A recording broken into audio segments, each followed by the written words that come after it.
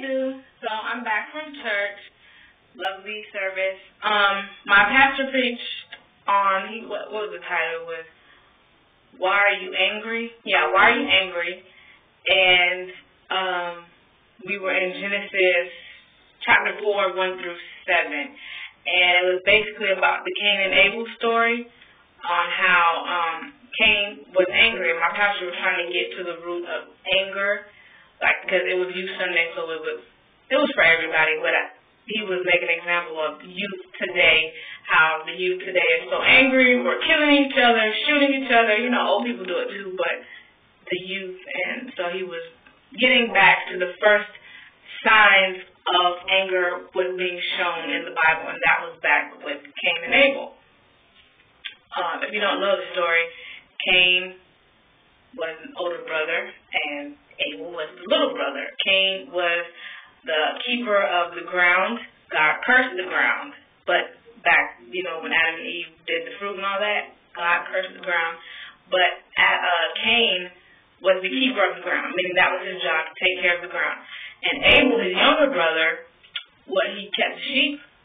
So when it came time for offering, Abel, um, he offered God his first you know, the firstborn of the sheep or whatever. And Cain offered the fruit because that's all he had. He was, you know, the keeper of the ground. So he was angry, jealous, all those things, and he killed his own brother. And so we were just talking about um, anger, and I'm gonna post a blog on that to get deeper into that. Um, I can't make this video about obedience because that's been something been dealing with. Um, this lady after service, she gave a testimony on how she's been taking care of this older woman who um, lived up in Chicago. She had health issues and all this stuff. She was going back and forth traveling from Chicago to uh, Florida. She said one time she was um, on the airport. She had seven thousand dollars on her in cash. She lost seven thousand dollars of her cash at the airport here in Florida. But she was already on the plane when she got lost it. So she when she realized she lost it. So she just had to keep going. When she came back to Florida, she was thinking, no one's gonna turn in seven thousand dollars. The economy is ridiculous, no one's gonna do that. Everyone needs money. But she came back in the airport, somebody turned in the money to the people at the airport and gave it to her. Seven thousand dollars in cash. She was obedient to God. She was obedient to what God was telling her to do. God placed on her heart to help take care of this. She's like in her 80s, 83. Take care of this elder, elderly woman. She stopped what she was doing here and she went to go take care of a woman. In the midst of that, she lost her money. Well, she thought she lost her money. But then she got back and she found, they found it. God gave it back to her, basically. And you know, me, I'm taking that story so many different ways. Okay, she had seven thousand dollars on her in cash.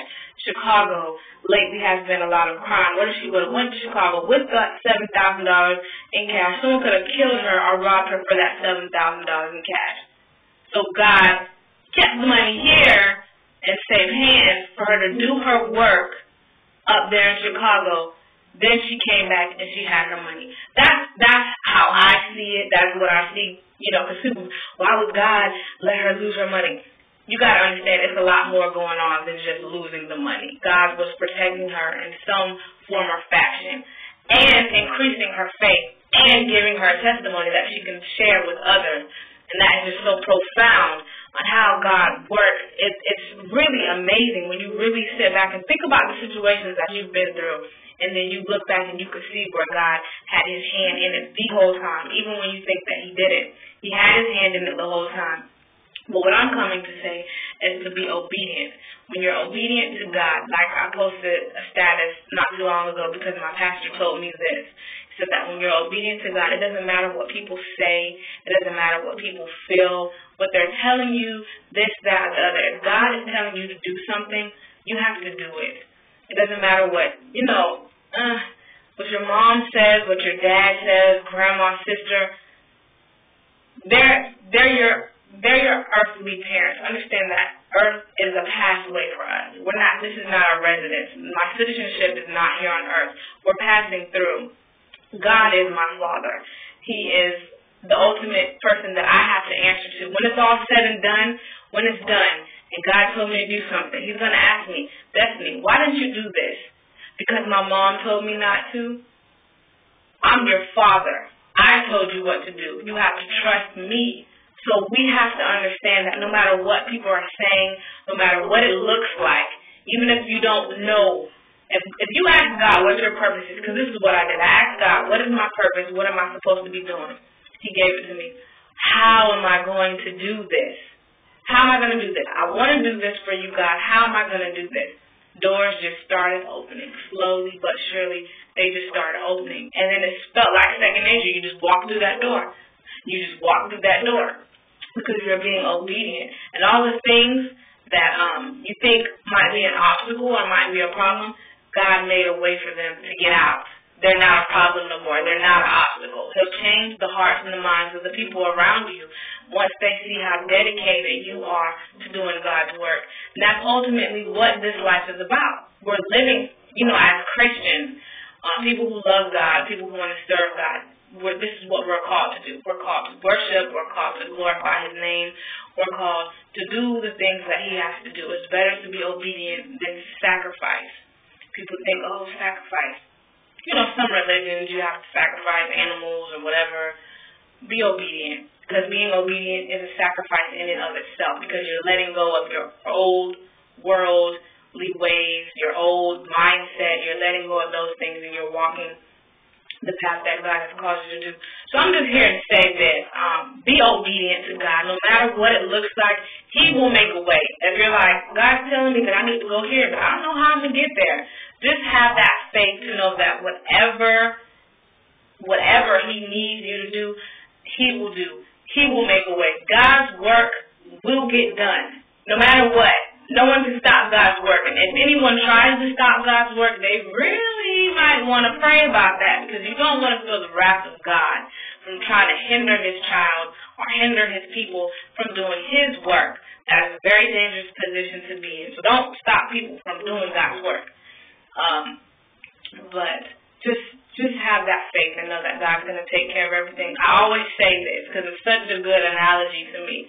God is not going to send you to the store with $20 knowing he wants you to buy something for $50. He's not going to leave you short-handed. He's not going to leave you short-changed. If he wants you to go to that store and purchase that $50 item, he's going to give you the $50 and he'll probably have change for tax. You know what I mean? He's to make a way. He's to provide. He's to open those doors. Uh, you just have to trust him. You just have to trust him and hold on to his faith. You can't please God without faith. So you might want to do a faith check too. But um, that's all I want to say is be obedient to God's will. Be obedient to his way. Ask him to help you be obedient if you don't know how. Um, ask him what you want, what he wants you to do.